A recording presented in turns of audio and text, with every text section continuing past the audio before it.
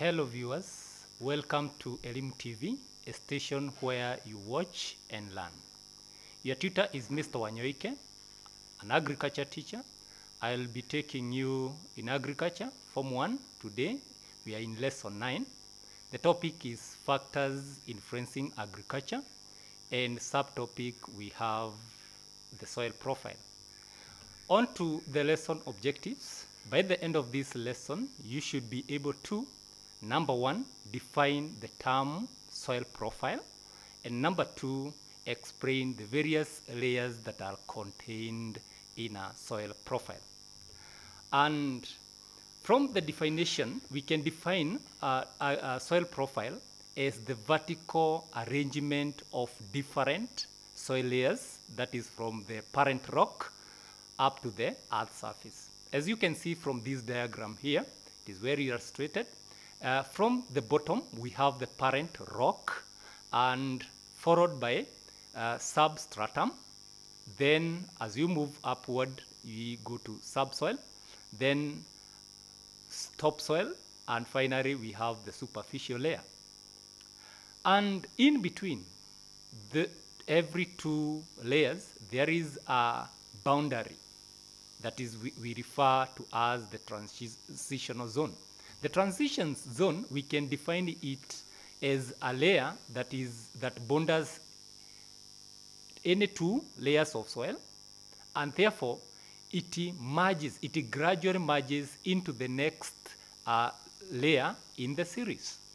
And therefore it gradually changes from the bottom layer to the top layer. Then we have um, in the uppermost layer, we have superficial layer. It is rich in leaf uh, or decomposing leaf, which forms the leaf litter. Then it is rich in humus uh, content.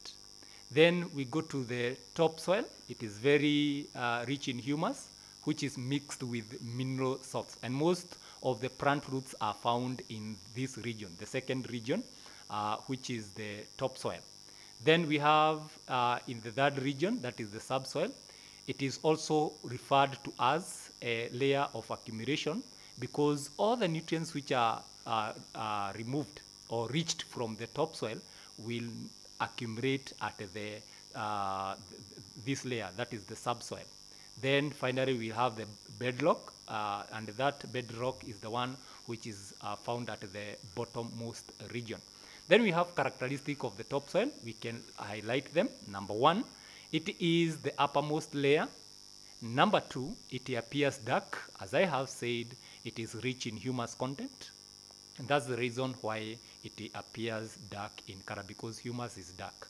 Then it is well aerated. Uh, this it allows free circulation of air. As we know, air is very very important because the soil contains living organism and living organism needs oxygen to carry out uh, the process of respiration so that they can have energy.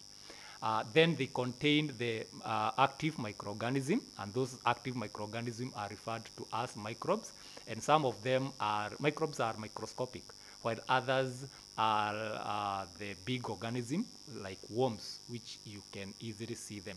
Then we have the plant root is also a living organism, which is found in the in the root in the soil then it is well aerated. This topsoil is well aerated. It means that it allows the water to penetrate. Uh, then number seven, we have contained most of nutrients. Actually, most of the nutrients are found here, and that's the reason why most of plant roots are located at this particular layer. Then we, uh, I will portray a diagram that shows uh, the layers, and Another name of the layers, it, it, they are referred to as horizon. So the topsoil is the one which is referred to as horizon A, as you can see it on the topmost part. Then it is followed by the subsoil, uh, that is horizon B, and C, that is the substratum. Then we have the D, where we have the bedrock or parent material. And in the parent material, we have the pods of water, as we are going to discuss it later. Then we have characteristic of subsoil. Um, number one, we have it is more compact. It is not aggregated. And number two, uh, less aerated. Means that the particles are close together, meaning that the air spaces are not wide enough. And this is why we normally say it is uh, not uh, well aerated, it is less aerated. It allows less uh, circulation of air.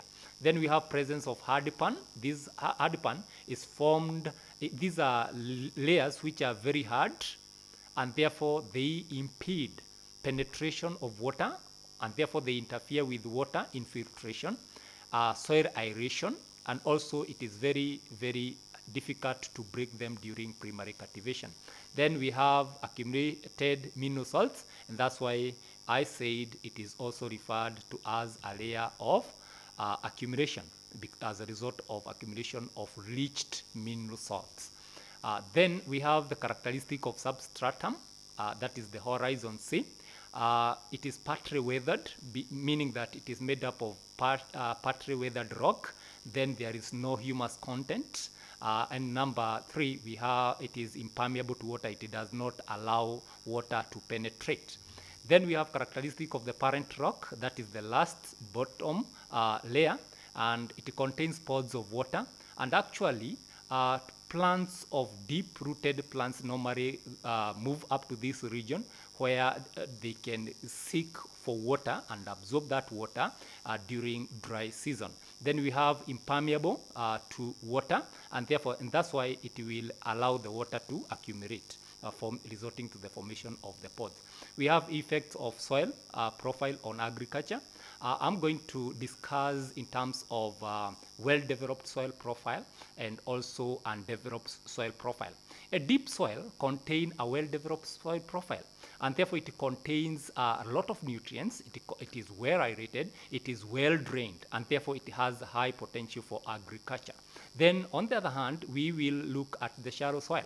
The sh- shallow, shallow soil is normally formed uh, especially where we have a steep slope or where the, the, the underlying uh, material is the rock and therefore they are poorly uh, drained and also they don't have high potential for agricultural uh, production because they don't have uh, they have uh, low soil fertility and therefore they cannot uh, sustain uh, life as far as uh, plants life is concerned then we have uh, i will wind up the lesson by giving you some question and the question number one will define the term soil profile as we have discussed. And number two, we have draw a well labeled uh, structure of soil profile. And finally, uh, if there is someone uh, who uh, would like to, um, to refer, you can use this reference uh, from the Student Agriculture Book 1, uh, that edition, and the, literature, uh, the, the publisher is the Kenya Literature Bureau. Then, for more information, if you would like us to help you with um, more clarification or for, for more information, you can well reach us through these addresses. The first one, we, we have the SMS. You can use the number, which is well displayed there. And the second, you can use the YouTube at Elimu TV. Then we have the Facebook. You can use Elimu TV. And finally, we have uh, the Twitter at Elimu underscore KE. Thank you for watching and stay tuned to Elimu TV for more information. Thank you.